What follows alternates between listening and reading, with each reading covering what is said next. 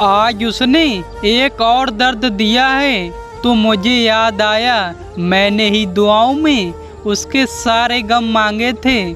छोड़ दिया हमने लोगों का पीछा करना, जिससे जितनी मोहब्बत की, उसने उतना ही गिरा हुआ समझा। कभी कभी अपनों से ऐसा दर्द मिलता है, आँसू तो पास होते हैं, मगर रोया नहीं जाता।